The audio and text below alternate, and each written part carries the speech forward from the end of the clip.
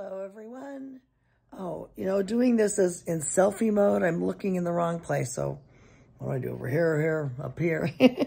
um, so today is a sort of an educational demonstration of how to check to see if your dough is either too wet or too dry. I'm going to purposely make one recipe of dough in one bread maker as too wet and another one as too dry. I have subtracted uh, 40 grams from one to make it to 40 grams of flour to make that too wet and sub added 40 grams of flour in the other one to make it too dry. I have post-it notes labeling in the bread machines and um, we're going to see how that goes. Same recipe, my French bread recipe. By the way, I will link you to the recipe.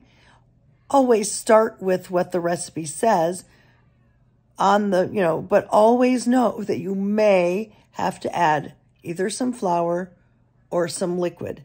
No matter how many times, if you make a recipe 10 times and you don't have to add flour or liquid, then the, don't assume that the 11th time you won't have to because it's all about climate and temperature and everything else in your kitchen and in your area and stuff like that. So Here's the educational demonstration. Ah. So I'm going to be making my French bread recipe. And this recipe calls for 465 grams of bread flour. So in zone number one, I'm going to, I subtracted 465 minus 40, so I'm only putting in, this is 425 grams. So it's 40 grams less than what the recipe calls for. And that will be in zojirushi number one. And that dough should be too wet. And then I will show you how I fix it by adding flour to make it just right and into a smooth dough ball. And then in zojirushi number two, that's the bread pan, not the bread machine, obviously, I've taken that 465 grams and added 40 grams to 505 grams, and that should be too dry. and that will be in the second bread machine zone number two. So I've taken 465 plus 40 is 505, and that should be show as too dry, and then I will add liquid to make it the right consistency that we have a smooth dough ball. So it's not an experiment exactly, it's a demonstration because I want you to learn how to read your dough to know whether it's too wet and you need to add more flour or whether it's too dry and you need to add more liquid. So I am going to go ahead. I've already just put the liquids in. This is uh, water, olive oil, and honey. See? And then I'm going to add the flour, the salt, the sugar, and the yeast. Put them in the bread machines. And it'll preheat for a little bit. And then when it starts kneading after about five minutes, I will be showing you. And I will put these post-it notes on the bread machines so I cannot get screwed up and I can show you then what too wet looks like, what too dry looks like, and how to fix it. Yay! So it's been kneading for about five minutes, and this should be our dough that looks too wet. First, I'm gonna show you through the window, which is kind of hard to see. And I'm gonna open it. And the reason I know this is too wet is that number one, it's very sticky. See how it's sticking to my finger?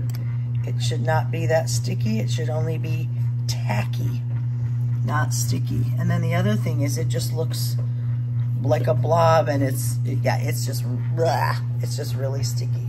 So I'm gonna add, this is what I would do normally, is add a little more flour, not all of it, and let it go for another minute. Now I gotta wipe my hand off, so I'll be back with you. Now we're back at zone number one where the dough should been too wet, which it absolutely was, and I added more flour. Okay. It is still definitely too wet, and the reason I know is that it's a blob for lack of a better, uh, for lack of a more scientific word, it's a blob. It's not coming together in a smooth dough ball and it is still sticky because the dough is coming off. So I'm going to, and this is what you do normally. You add a little bit of flour at a time. Normally about a tablespoonful, which is about 10 grams. But since I kind of know it's gonna need more, I just kind of put more in. We'll come back and look at that in a minute. Alrighty then, this is zone number two. And this is the one that's too dry. I put in more flour, 40 extra grams. Let's see what that looks like. Through the window.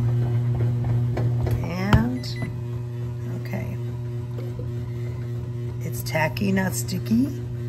It's actually not too bad. Um, humidity can also, no, it does, yeah.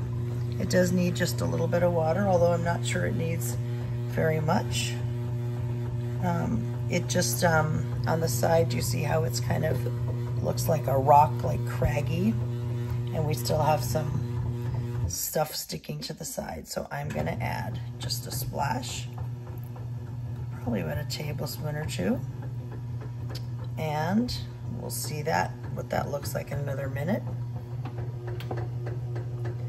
And now we're going to go back.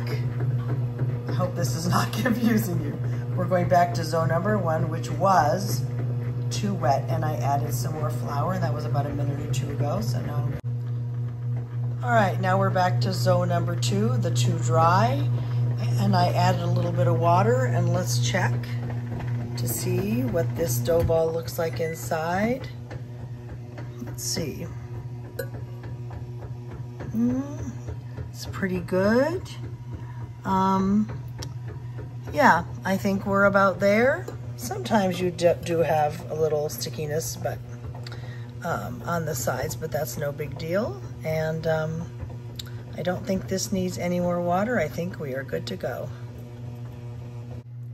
All right, we are back to our too wet dough in zone number one. It is, let's see, uh, not actually to use the other hand. Still a little more than tacky, so I'm going to put a little more flour in. And let that get back to kneading.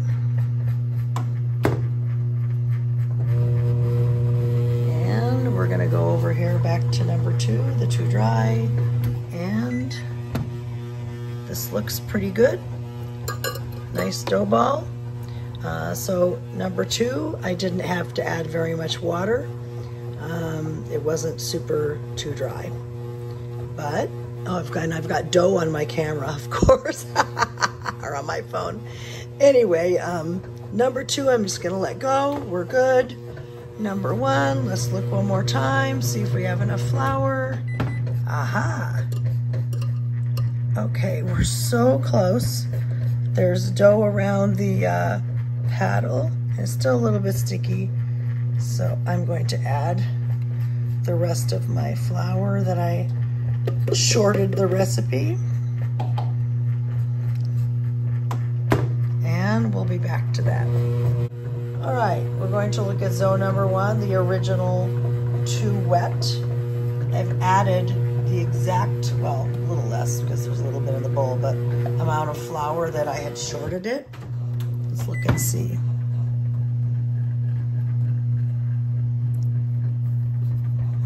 Actually think it needs just a hair more. I'm gonna go get some more flour just a sec.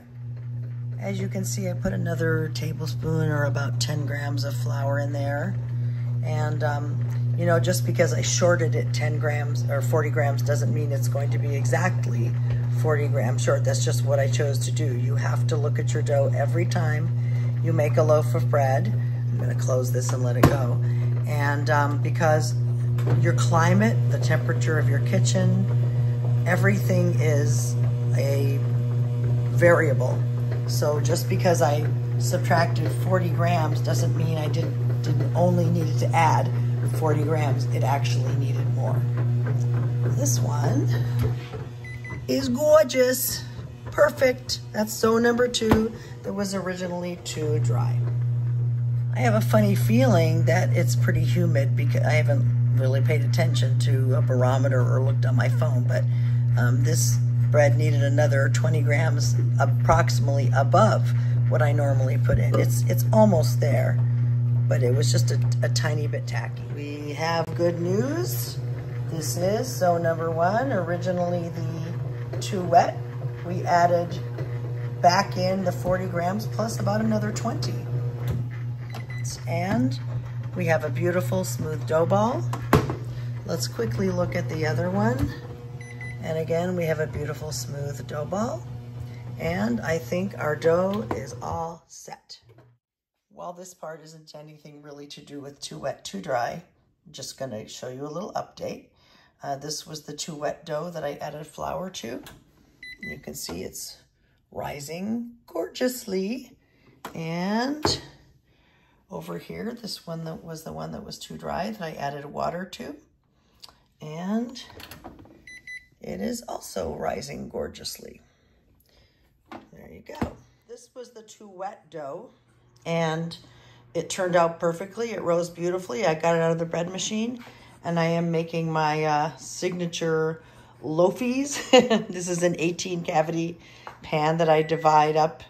And um, of course, I've set my oven to the lowest temperature for rising and turning it back off again. And I'm going to put these into rise and then I have my second dough. And of course this had more flour because I made it the uh, too dry one. So I had to put more flour in and added water. So it's a little bit bigger of a, a hunk of dough, hunk of hunk of burning dough. Well, not burning. Anyway, so these are going into rise and I'm going to form these into something creative right now. This is the result of zone number one, the one that was originally too wet. These are what I call loafies. They're mini loaves. This is one of my favorite things. Um, I do have a whole video on making these and I will link it, but it makes these little cute little mini loaves and I cut these in half, you know, this way and um, mix up fresh um, garlic and Kerrygold butter and make the best garlic bread. Um, I throw these in the freezer and just have them on hand for garlic bread whenever I want them. The other dough, I just mess around and exper experimented, and I'm not going to show you that because they, they look silly. But anyway, um, this is the end of this video. I hope you um, learned about dough being too wet or too dry, and I'm always here for you with questions. Like, subscribe, share with your friends. Thanks so much for your support.